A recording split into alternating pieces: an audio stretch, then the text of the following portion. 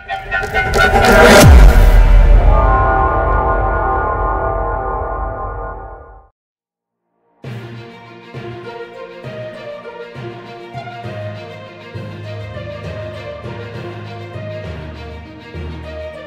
and welcome to Daily Nook Daily Nook में आपका स्वागत है। वीडियो स्टार्ट करने से पहले अगर आप चैनल पे नए हैं तो चैनल तो लाइक सब्सक्राइब करें और वीडियो को शेयर करें। आज के इस वीडियो में हम बात करेंगे अमेरिका और ब्रिटेन की। तो चलिए जानते हैं आज के latest news update.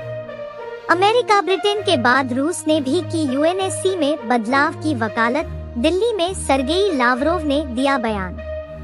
रूस के विदेश मंत्री लावरोव ने कहा कि आज जी बीस बैठक को संबोधित करते हुए प्रधानमंत्री मोदी ने एक संतुलित और जिम्मेदार स्थिति प्रस्तुत की। संयुक्त राष्ट्र सुरक्षा परिषद में बदलाव की बात अब तेज़ी से बढ़ रही है। दिल्ली में रूस के विदेश मंत्री सरगेई लावरोव ने कहा कि यह संयुक्त राष्ट्र सुरक्षा परिषद में सुधार का सही समय है। साथ ही उन्होंने यूक्रेन और रूस आक्रमण पर कहा कि प्रत्येक राज्य को किसी अन्य राज्य की संप्रभुता और क्षेत्रीय अखंडता का पालन करना चाहिए। रूस के विदेश मंत्री लावरोव ने कहा कि आज जी बीस बैठक को संबोधित करते हुए प्रधानमंत्री मोदी ने एक संतुलित और जिम्मेदार स्थिति प्रस्तुत की। वह केवल कुछ अलग थलग व्यक्तिगत स्थिति के बारे में नहीं बोल रहे थे क्योंकि पश्चिम भू राजनीतिक तस्वीर को विभाजित करने की कोशिश कर रहा है। पीएम मोदी ने दुनिया भर में स्थिति का आकलन किया।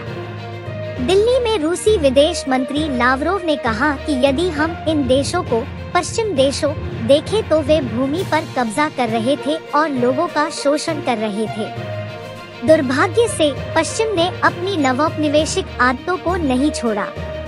पश्चिम अभी भी वैश्विक समुदाय के हितों पर विचार किए बिना अपने हितों को बढ़ावा दे रहा है।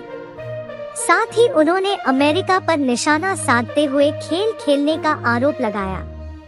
आगे उन्होंने कहा कि हम भारत के जिम्मेदार रुख की सराहना करते हैं। साथ ही कहा कि हम अलग थलग महसूस नहीं करते। पश्चिम अब खुद को अलग थलग कर रहा है। अगर पश्चिम इतना ही लोकतांत्रिक है तो वे अंतर्राष्ट्रीय स्तर पर लोकतांत्रिक सिद्धांतों को लागू क्यों नहीं कर सकते? अमेरिका ने यूएनएससी में परिवर्तन की वकालत की। अमेरिका ने यूएनएससी में परिवर्तन की वकालत की थी। बुधवार को अमेरिकी विदेश विभाग के प्रवक्ता जेड करार ने कहा कि यह यूएनएससी में बदलाव का समय है। यह एक कठिन और लंबी प्रक्रिया है, लेकिन बाइडेन सरकार में ऐसा कोई नहीं है जो कहता हो कि वे परिवर्तन नहीं देखना चाहते हैं। उन्होंने कहा कि अमेरिका यूएनएससी में परिवर्तन का समर्थन करता है। गौरतलब है कि भारत यूएनएससी में एक स्थायी सीट की वकालत करता रहा है। सुरक्षा परिषद के अधिकांश देश भारत के समर्थन में भी हैं।